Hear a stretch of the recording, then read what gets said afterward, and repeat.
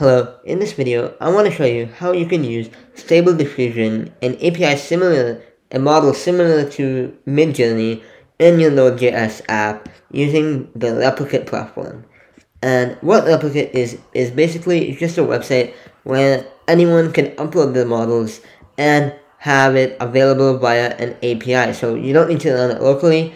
Now, um, Replicate does have some pricing, you can check it here, but um, it's really cheap and I think it's a good option if you want to have um, neat, stably generated, like AI generated images in your app. So how we integrate this is first of all, go to, just search up like replicate stable diffusion. Um, you search this up. Once you search that up, you can open up this page. I'll leave a link to it in the description as well. And there's actually many Stable Diffusion models, but this is the more popular one with about 97 million uses of it.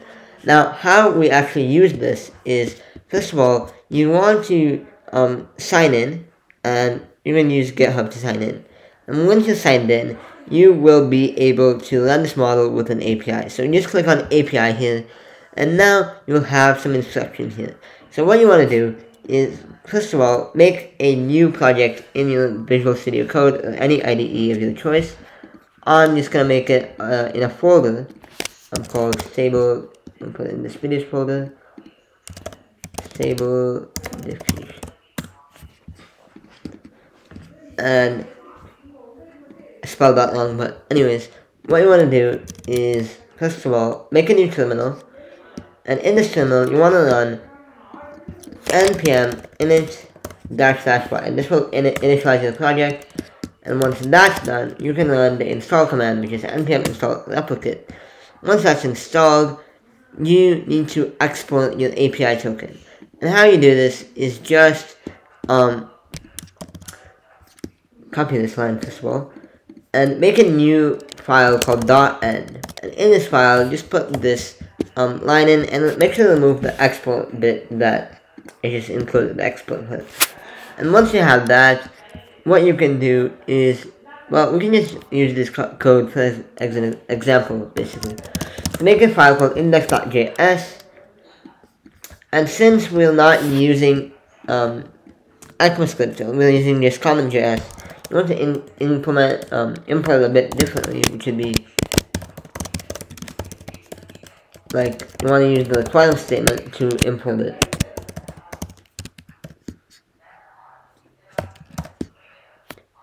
And I think the same yeah. So once that's imported what you can do is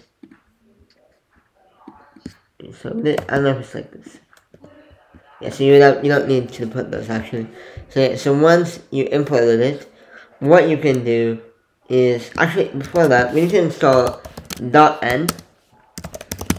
this is a package that will read this .env file. And it's a really popular package and how you use it is just you put file.end.config.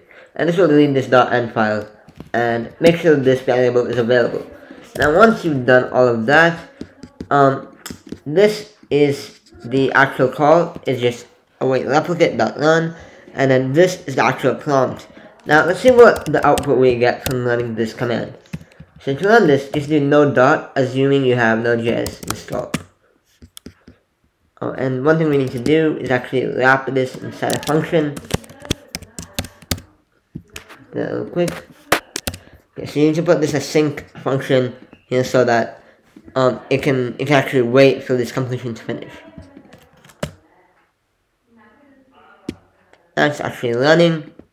And there's actually ways you can get logs of this, but once it's done, you'll get this URL, which is the link to the generated image which is this.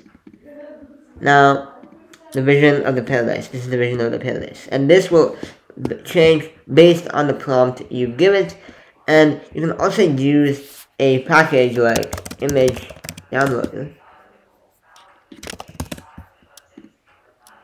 And you can use packages like this to install, I mean, download this image to your folder so you can use it in your app. So the URL would just be um, output 0, the first index, and this would give the final image of the prompt.